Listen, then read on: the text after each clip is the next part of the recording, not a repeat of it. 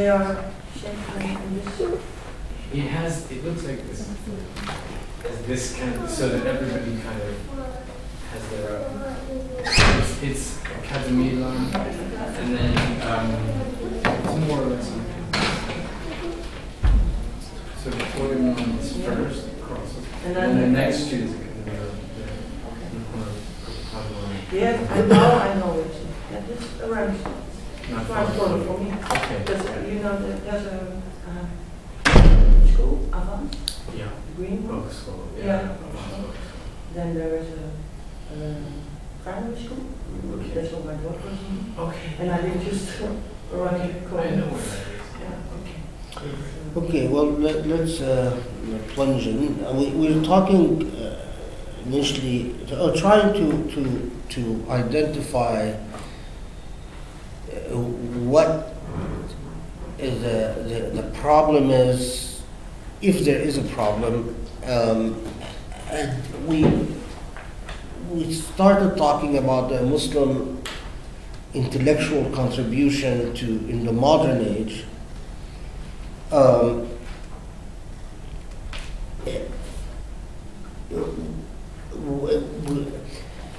one of the uh, um, aspects that you would think that there would be greater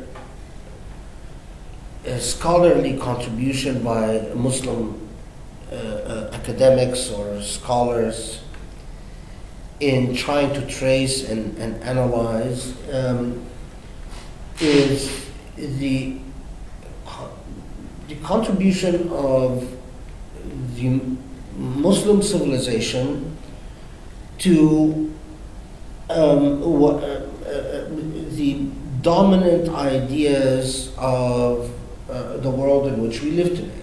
Um, you know, uh, the, the sort of uh, the case for, we often talk about the Judeo-Christian tradition. Uh, I, I don't know if, if you, have you guys heard of a, fellow called Richard Bulliet?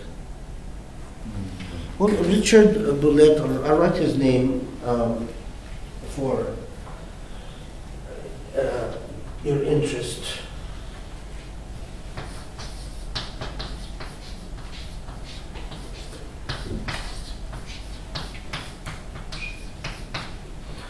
Richard Bulliet, uh, professor uh, at um, Columbia uh, University, is a serious scholar, uh, and he- wrote a, a book that um, did not have much impact, but that ought to have had considerable impact.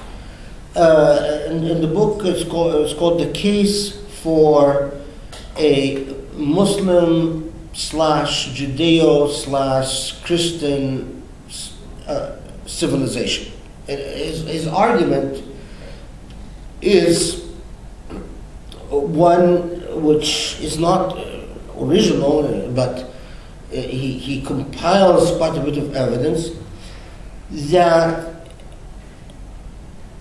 clearly up to the the, the, the Muslim contribution to the to the European Renaissance is is um, not just uh, substantial, but it is it, is critical, um, and um, there are uh, there are several.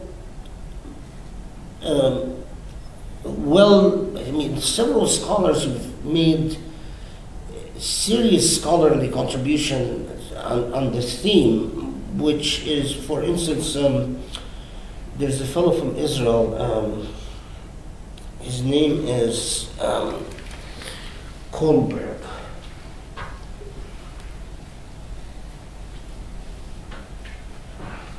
Oh, actually, better than Kohlberg. Uh, is Kramer, his first name I think is Joel Kramer, but you have to be careful because there's there's uh, there are two Kramers. Both of them are from Israel. One of them is an Islamophobe, and the other guy uh, wrote uh, a, a, a book, a very big book, 1,500 pages, published by Brill called A Muslim Scholar at Work. A fascinating, fascinating book. He, he, he studied a medieval Muslim scholar and reconstructed the contents of the library of that Muslim scholar. Uh, uh, What did this Muslim scholar have on his shelf? And um, and uh, uh, uh, like uh, Bulliet and, and others, he, he, he argues that it is, it, while politically there, and uh, especially in response to the uh, Ottoman invasions of Eastern Europe, uh, there was a, a considerable movement to sort of de-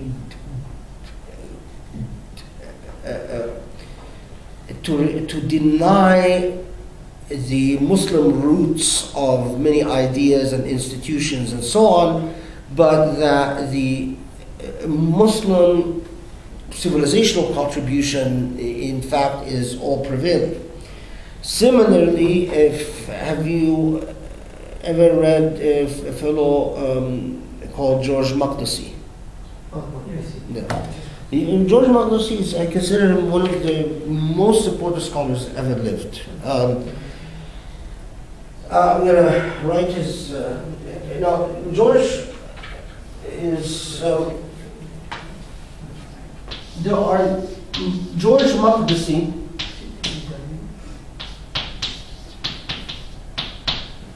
Is the father, and he passed away. He was a uh, he, when he passed away. He was a professor at the University of Pennsylvania. His son is called John Makdisi, who's still alive. He's a law professor. And uh, uh, George Makdisi wrote uh, a, book called The Rise of Muslim Colleges, um, which is a, very critical book um, in, in, in understanding the, the intellectual uh, uh, dynamics um, of the Muslim civilization. And then uh, he wrote a book on the rise of humanism in Islamic civilization, and he wrote a very significant book on um, uh, Ibn Aqil.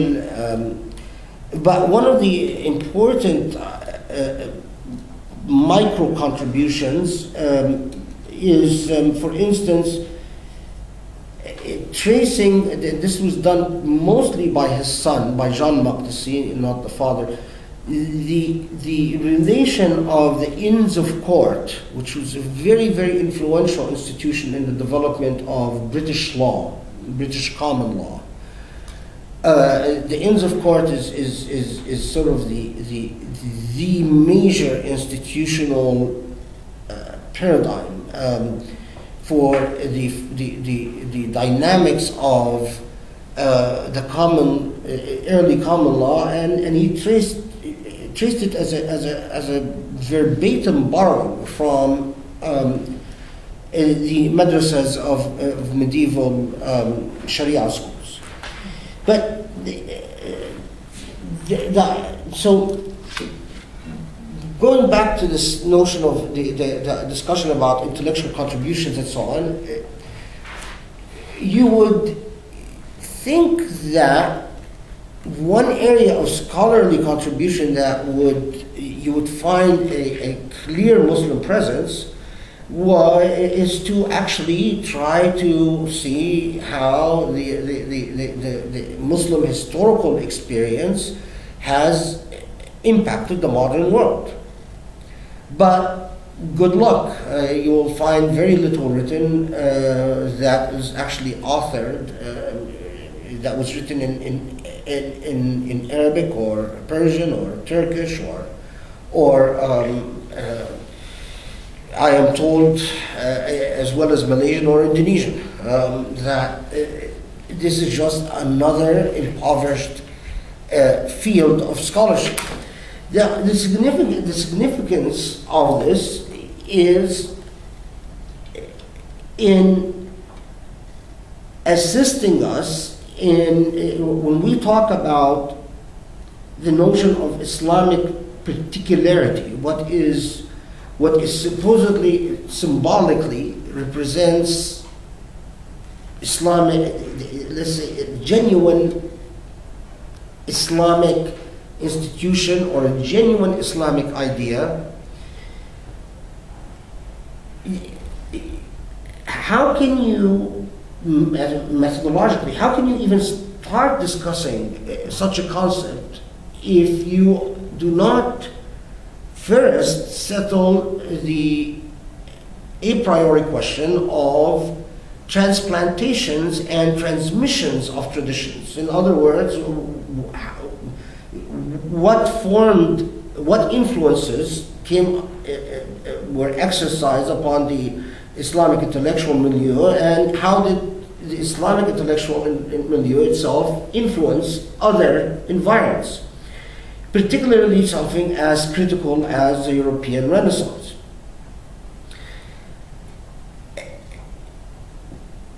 This, if if we are if we take uh, just assume instead of, of, of uh, needing to prove it, but just assume that the, this thesis is correct that in fact uh, uh, the Islamic civilization influenced in very critical ways the development of the European Renaissance, and that uh, I mean I can't resist giving you very, one very very clear example. Um, um, any fairly educated uh, Westerner would uh, know even if they don't know any details, but would, would have a notion of Maimonides as a major influence on uh, the Western intellectual heritage, right? But uh, Maimonides, uh, his whole theological and jurisprudential discourse is unremarkable if placed in its Muslim context. In other words, if, if compared to his Muslim context, uh, uh Maimonides appears uh, very um, average. Uh, there are theologians and philosophers that have, and, and Maimonides himself, there's an article that was published in Studia Islamica. Unfortunately, I don't remember the name of the scholar. He's a he's an Israeli scholar uh, about the who influenced Maimonides. And the scholar shows that Maimonides to have copied from a particular Shafi'i scholar in Egypt many of his jurisprudential and theological ideas. But yet we, we normally think of Maimonides is a major contributor to the Western civilization, but we do not think of a parallel to Maimonides as a major contribution to the Western civilization. The point is, if, if we just assume, for the sake of argument, that the, the critical uh, impact of the Islamic civilization upon the European Renaissance, this makes the question um, even of, well, what uh, um, what how can we start dissecting or studying the nature of contemporary dynamics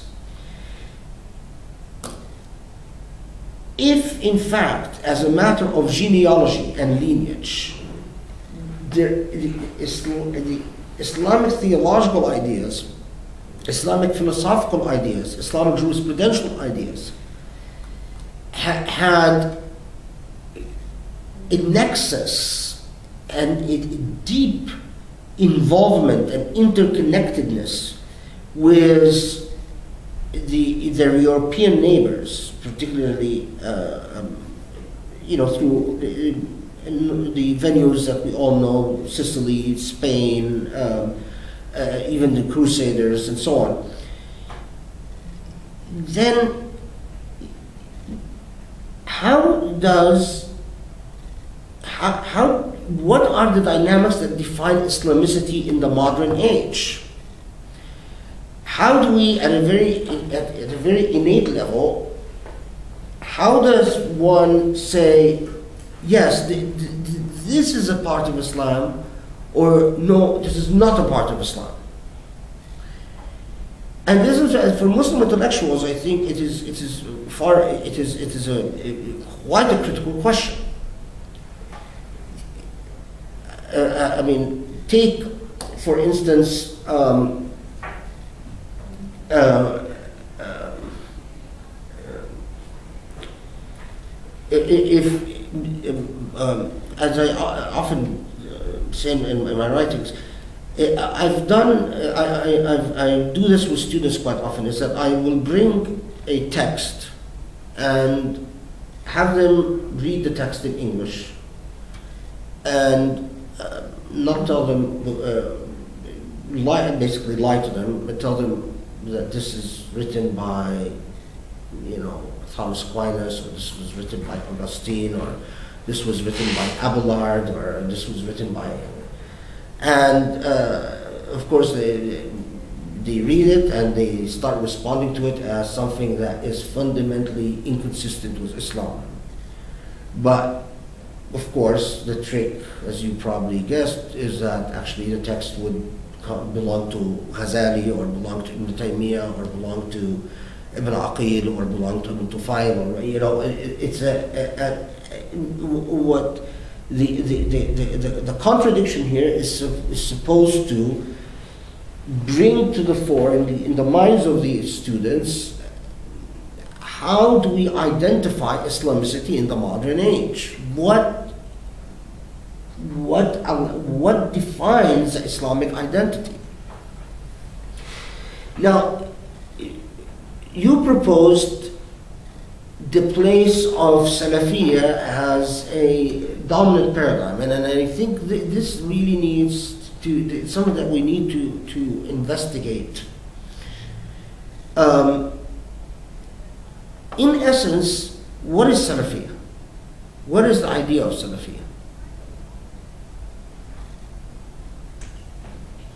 To return to the, the, the purity of the earliest uh, sources for Islam, so the Prophet of immediate companions, if I, if I understand it. Right. And what, what the, there's a buzzword or a buzz phrase for that. Do you, do you know what? It, it, Salaf al-Salih, right? Right. Uh, This is a, a, a very important buzz phrase that is used.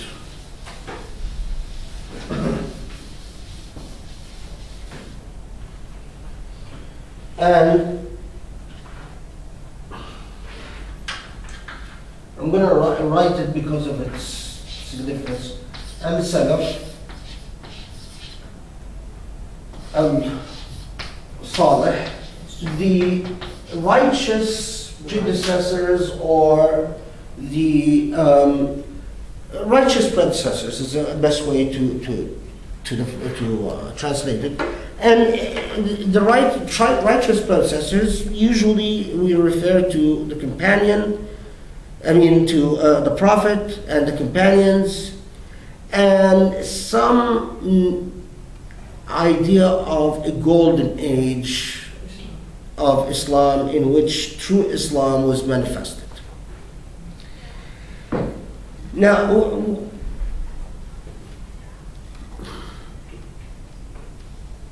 we, one, I- think one obvious question is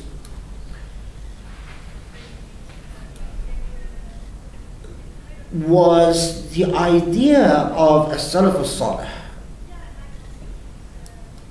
was it a utopian idea in the sense that it is supposed to represent the full, fully realized potential of Islamicity. In other words, that here is a time where Islam was perfectly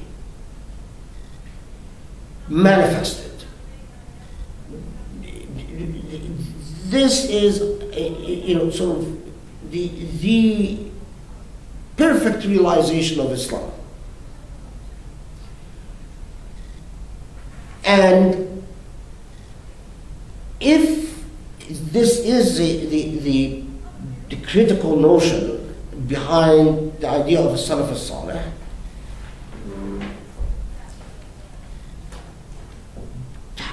how old do you think this idea is?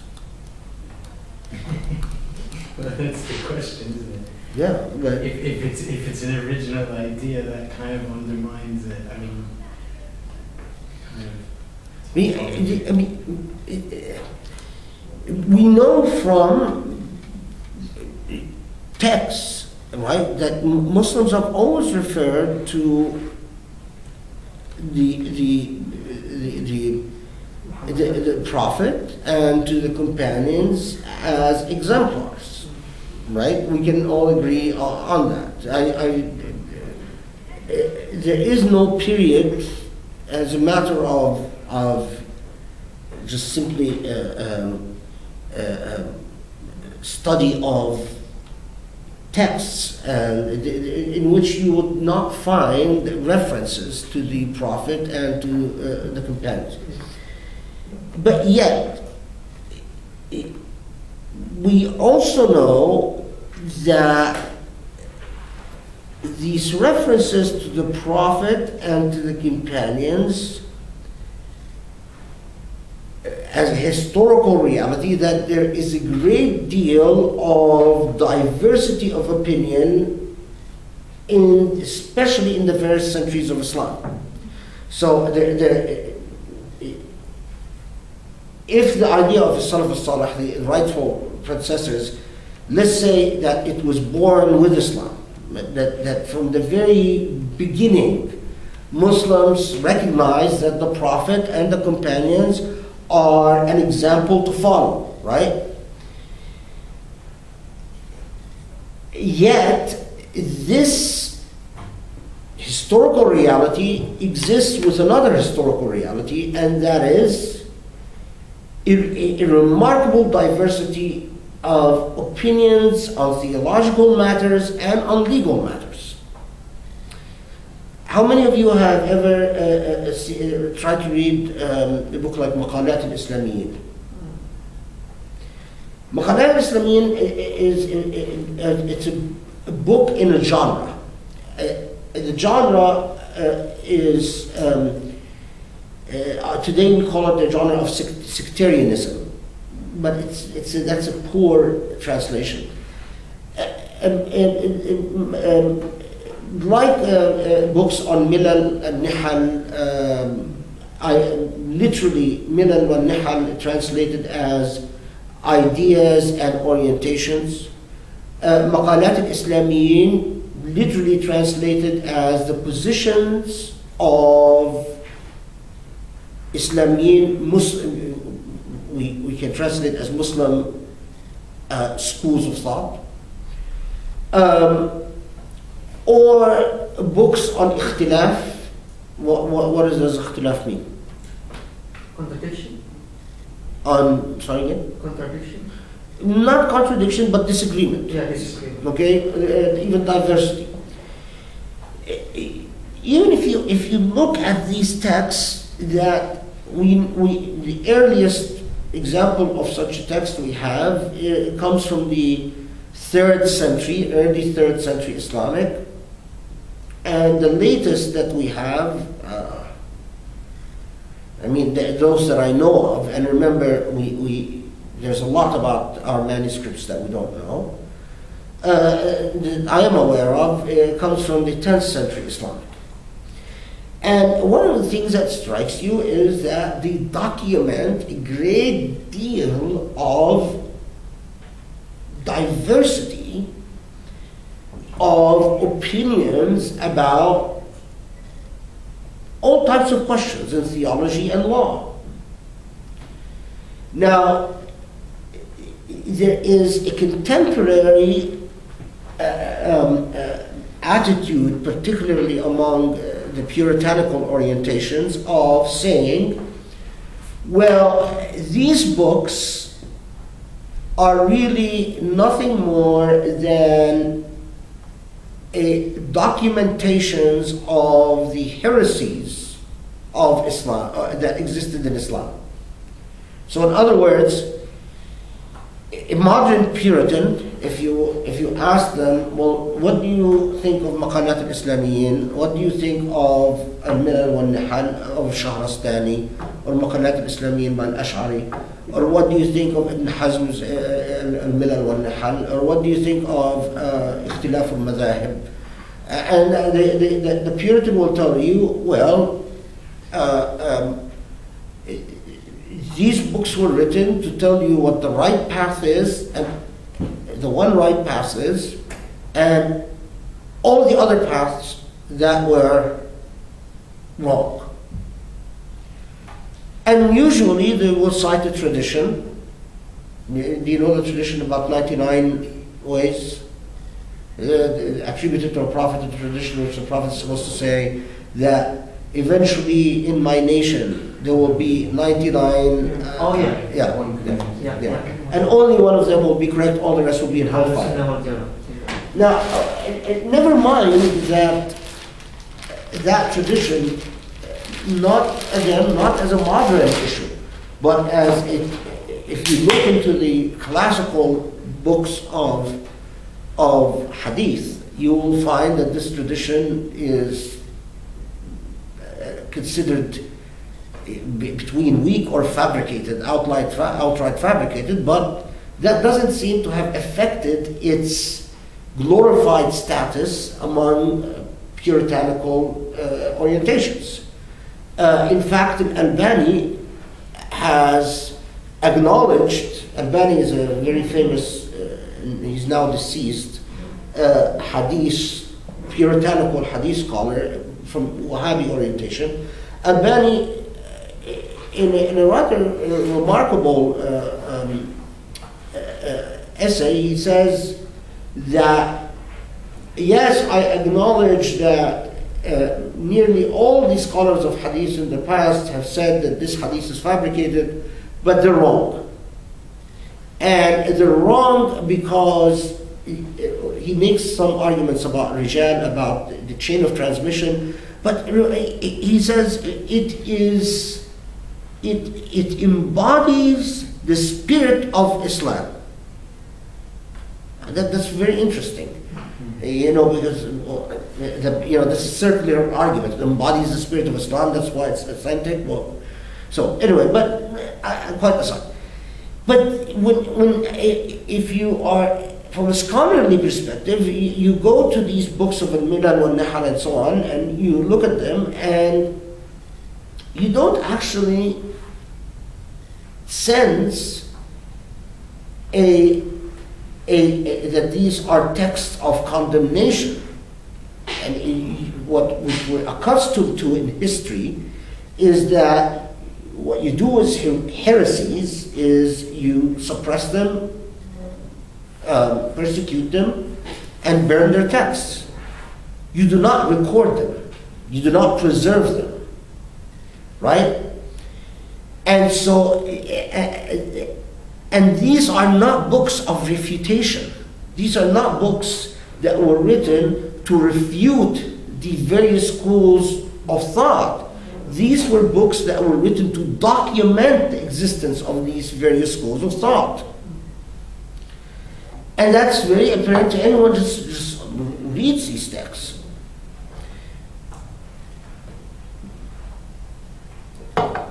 This, of course, will raise in itself a very important epistemological question, and that is the place of diversity and difference of opinion in Islamic theology and law, but we'll get to that later. But we we know as well that inquisitions, whether theological or jurisprudential inquisitions, were not a very successful historical, um, uh, uh, not very uh, his- successful historical endeavor in Islamic history. We, we all know about the famous Mihna in which Al-Ma'mun is supposed to adopt the Mu'tazili school and he institutes this inquisition and the hero of the Mihna is supposed to be Ahmad ibn Hanbal.